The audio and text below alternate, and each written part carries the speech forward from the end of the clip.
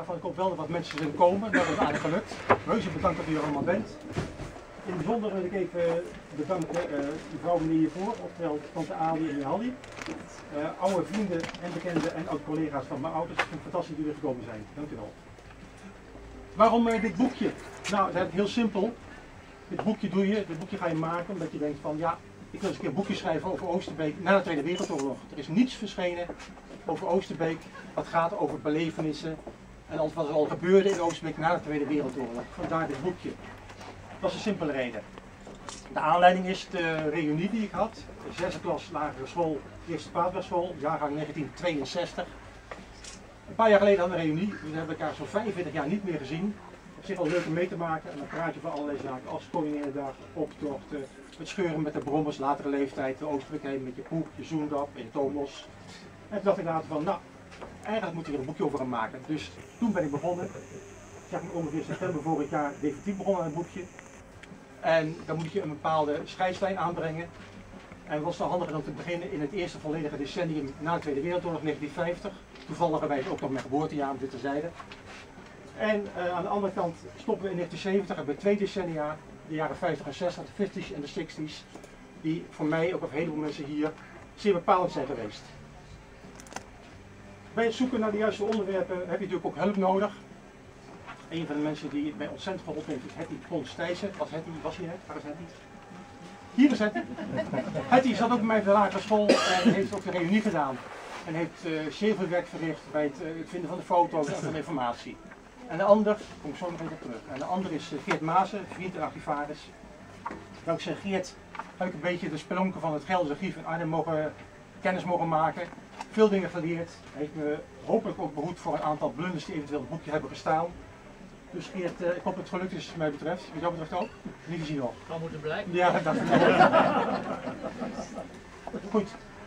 Dan begin je aan zo'n boekje en dan besef je al gauw dat het erg moeilijk is om foto's te krijgen. Want nu hebben we het digitaal tijdperk. Iedereen maakt foto's van alles en van iedereen. Toen had je nog filmrolletjes, 12, 36 opnamen. En die maak je van vakantiefilmpjes, je maakt ze van trouwerijen, van de Koninginnedag optocht van de airborne. Heel weinig van het dagelijks leven is toch nog gelukt. Dus denk je van, misschien kan ik foto's vinden bij de fotograaf van de Hoge Laag. Dat was jammer. De mensen die ik gesproken heb, de ene had de foto's letterlijk allemaal weggegooid, doodzonde, weg, alles weggegooid. Een ander had ze op zolder liggen en had geen zin en geen tijd logischerwijs om alles door te gaan spitten. En de ander was overleden en de nabestaanden hadden wel dozen vol en orders vol staan, maar wisten absoluut niet wat er precies bij wat hoorde. Nou, toen heb ik leuke foto's kunnen vinden, om dat een voorbeeldje te noemen.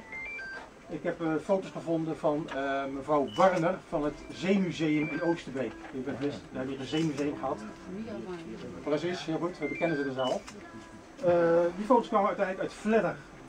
Ik heb een foto gevonden van de allereerste tankwagen van de firma Driessen, Utrechtse En die vond ik via Vliegbasis Delen.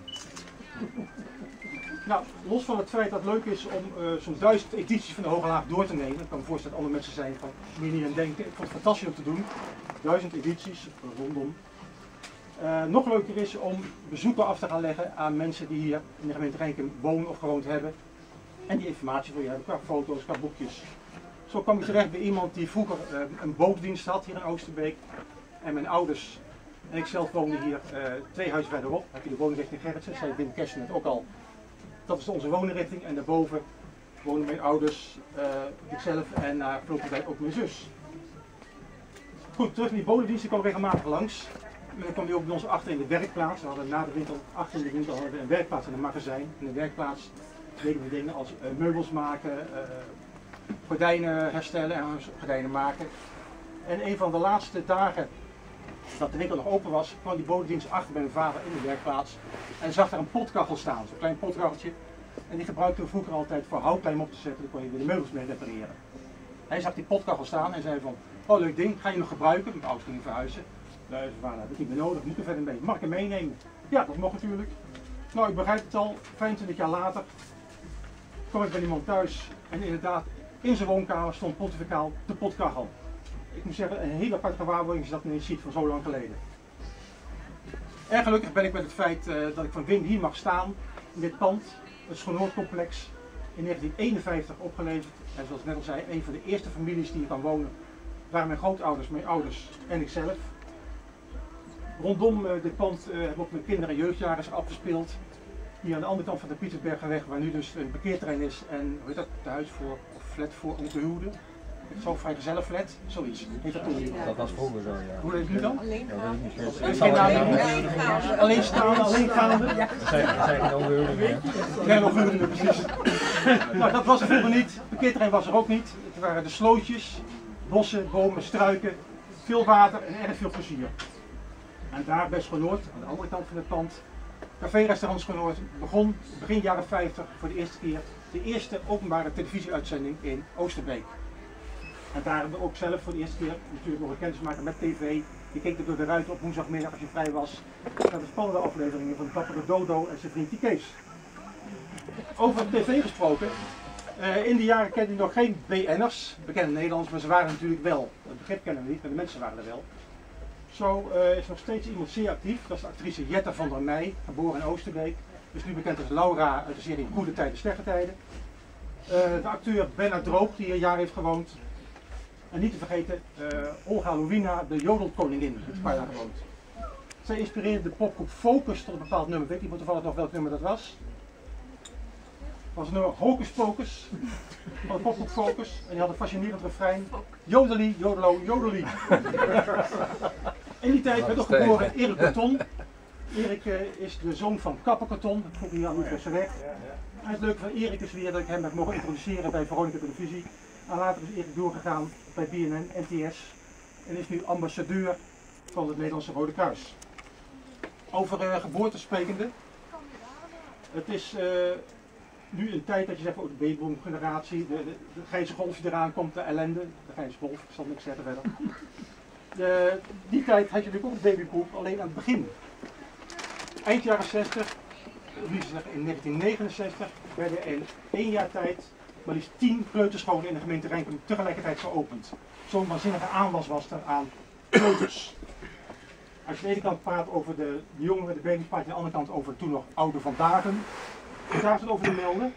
Uh, het heeft bijzondere bejaardenhuizen opgeleverd hier in Oosterbeek. Meer het NOV voor voormalig onderwijspersoneel. Dat was de eerste vakbond voor onderwijspersoneel, de eerste vakbond die iets deed met bejaardenhuizen in Nederland. En nog unieker was Felixoord, uniek voor Europa, een centrum voor vegetariërs. Nou, in de jaren 50 kennen we ook nog leuke dingen. We waren een eigen touringcarbedrijf van Aalbers. Uh, waar ging je zo heen? Nou, voor 1,50 kon je die tijd een rondrit maken door Oosterbeek. Zo zag je nog eens wat. Als de verveling toesloeg, dan kon je terecht bij tientallen verenigingen die Oosterbeek kenden. En een paar van de meest bijzondere wil ik even opnoemen. We hadden de mandolineclub Sempre Animato. Aquariumvereniging Gyptofolia, de volksdansclub De Rombom. En als uitsmijter in 1963 werd het uh, tienjarig jubileum gevierd, volgens de Hoge Laag, onder de beziende leiding van J. Karel jubileum van reisvereniging Het Wippertje. De jaren na de oorlog stonden vooral in het teken van de wederopbouw, maar ook van het rode gevaar. Onder meer werd daarom ook in Oosterbeek, onder meer in Oosterbeek, de BP, bescherming bevolking, opgericht. En men hield enquêtes hoeveel mensen je in huis kon opnemen voor het geval dat er een aanval zou komen. Er kwam er een bomaanval en die folders kregen we allemaal in de bus. Dan ging je de kelder in, dan moest je weg, wegduiken. Had je geen kelder, kon gebeuren natuurlijk, dan moest je wel onder de trap of onder de tafel gaan zitten.